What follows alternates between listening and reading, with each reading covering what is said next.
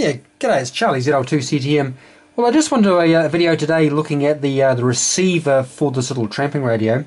Um, what we have here is um, the various components which are now finished, wired up as a um, single conversion superhet.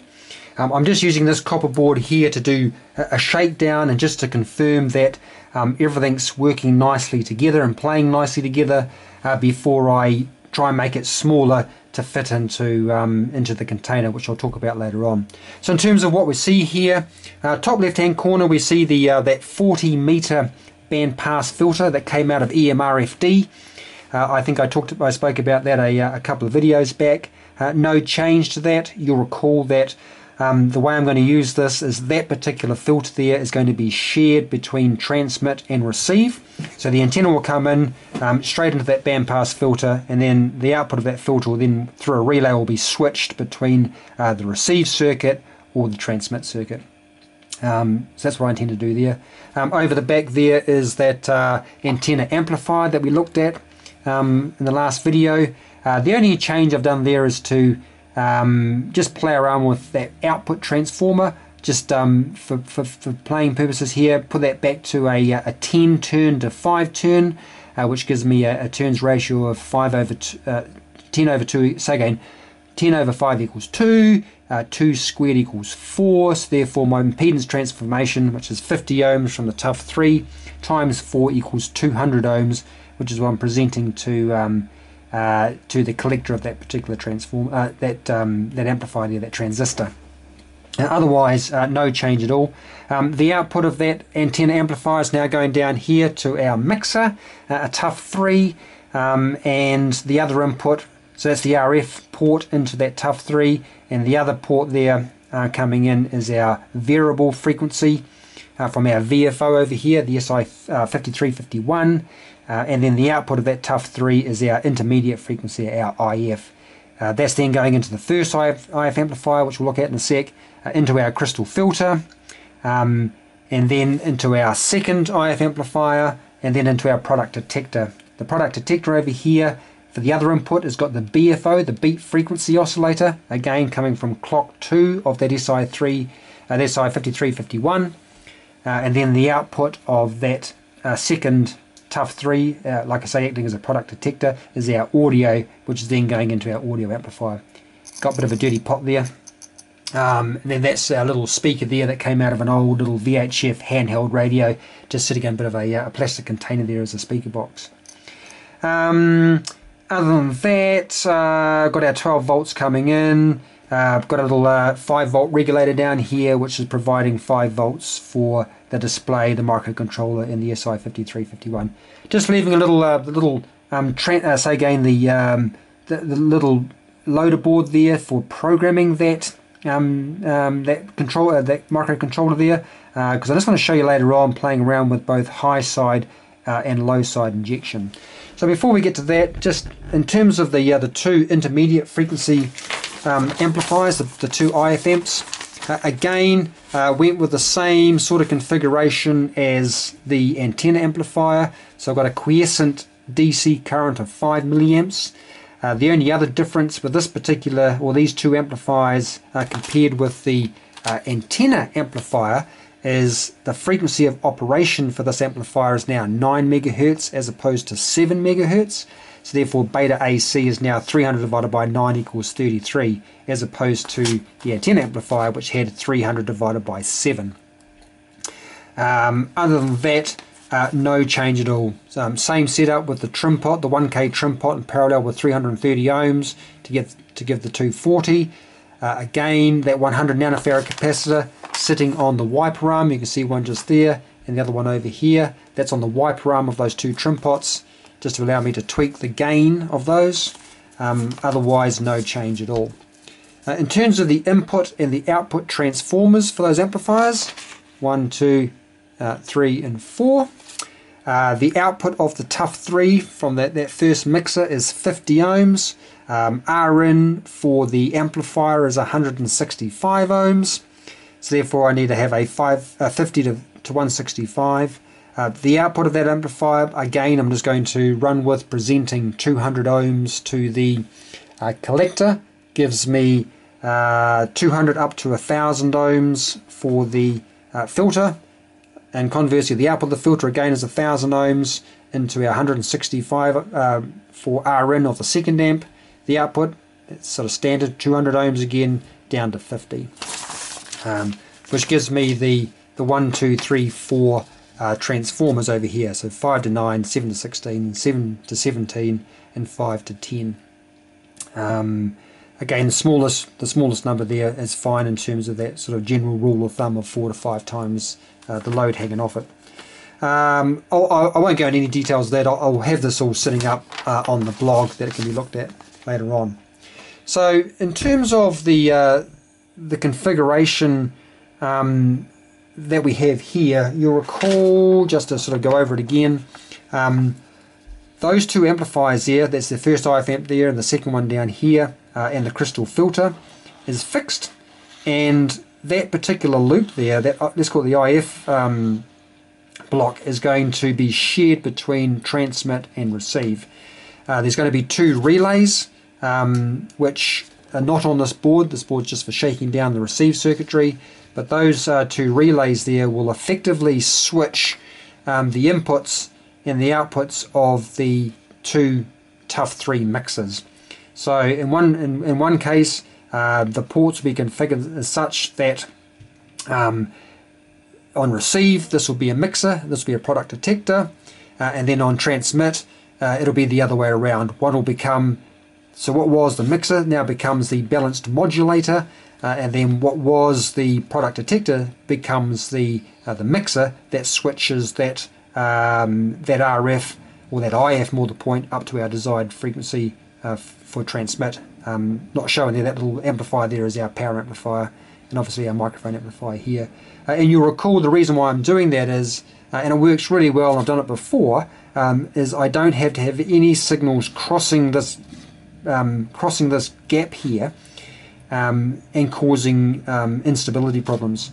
I can now have a nice big shield sitting through here, nothing has to go across, uh, and, it, and, it, works really well. Um, so that's the plan there. Now that uh, crystal filter there, uh, I elected to just copy straight what I saw on the board that this particular filter came off. So uh, right next door to the inputs and the output of that filter was an 18 picofarad capacitor to earth uh, there was 100 uh, nanofarads um, isolation capacitors, and then on the other side with that one one kilo ohm resistor. Uh, on the setup over here, uh, you'll see the two little capacitors there. Those are the 18 picofarad capacitors between the output and earth. Um, I'm not worrying about in this right next door to the filter those 200 nanofarad capacitors uh, because my two transformers has DC isolation on the input and the output. But I do have that 1 k ohm resistor you can just sort of see it there sitting on the board. There's one sitting there, and there's one just over, if I can just around the corner there, hiding there, which is the uh, the 1k ohm uh, sitting on the output of those two, uh, the input and the output uh, directly to earth. So that's the configuration of that. Rightio, so the only other thing I wanted to talk about before we sort of arc it up is um, what I've been playing around with in terms of the injection. Now I think that's all on the picture there. So there's two options there for uh, setting up and I won't go into any details of why one would be any better than the other one. Um, but you, we have what's called low side injection and high side injection. So I've been playing around with both. Uh, so for low side injection, this bottom one here, uh, we have our, in both cases, we have our desired frequency uh, in the 40 meter band, so I'll just notionally say 7 megahertz here, uh, with its lower side band intelligence. Um, somehow I need to get that information up to our IF frequency. So I can either mix it with a signal that's sitting down here, so sitting below it, which would be called low side, or I can mix it with another frequency which is um, much higher, or high side injection, or higher than that frequency, um, which would then be um, high side injection. The advantages of low side injection is, well, one advantage, if anything, is when that gets transformed up, um, the relationship between uh, that frequency and its intelligence remains intact, so we don't get any kind of reversal of the sideband. Um, so if I if I move it up uh, correctly and have it sitting right here, that intelligence will sit right in the passband of that particular filter. That filter has a, a center frequency of 8998 um, hertz, um, and on either side of that center frequency is 1.5k, so 1500 hertz, with an overall bandwidth of 3 kilohertz.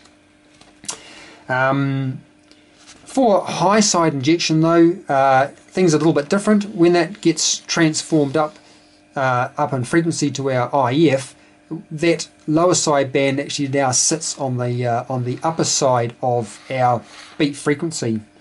Um, again, it's not impossible, but you just need to work out what your BFO frequency is going to be in order to get that sitting just right. And then when in the product detector, when you mix that intelligence there with that beat frequency, you recover the audio. So in terms of trying to work out what that figure there is, um, I had to work out um, a, few things first. So for low side injection, my BFO is sitting at 9 megs. Uh, I just said before that that center frequency of the filter is 8996400, uh, which works out to be 1800 hertz difference, uh, which is made up of 1500 hertz or 1.5 kilohertz of passband plus 300 hertz of, let's call that dead space.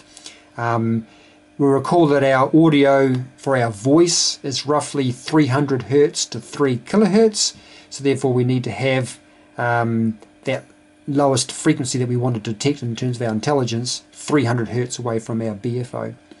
Um, if we then go at the other side, we've got another 1500 hertz, another 300 hertz there, and we get to that point there. So in other words, our 9 megahertz minus 300 minus 1500 minus 1500 minus 300 equals 8996400 which is that frequency right there.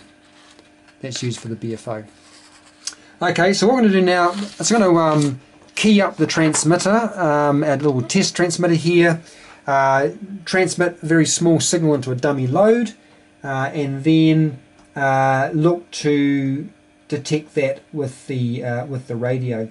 So it's going to be using um, for a start low side injection. So in other words, we're going to have this configuration here.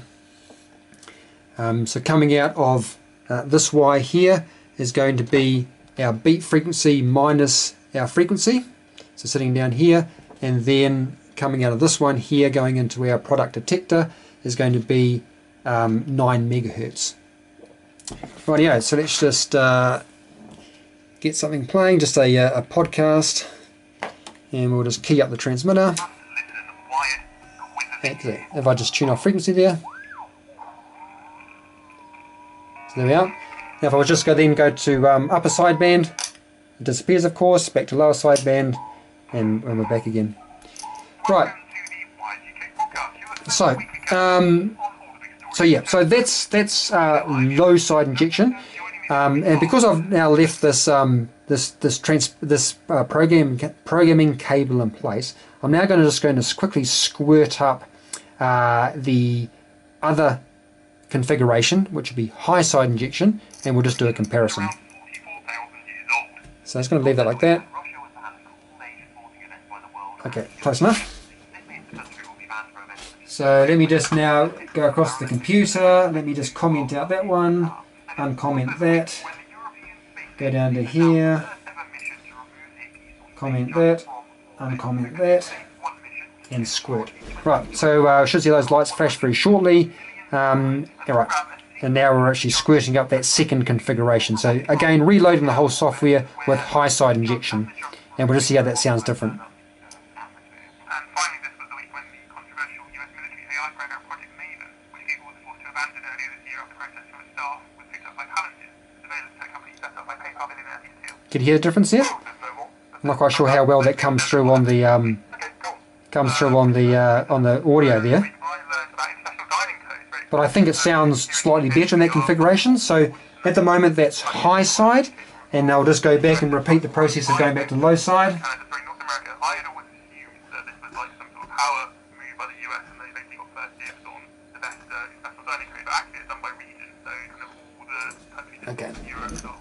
Got a dirty pop there, a bit of scratchiness. Okay, so again that's high side and now we're just going back to low side. So once that lights flash and we come back online it's rebooted with uh, low side.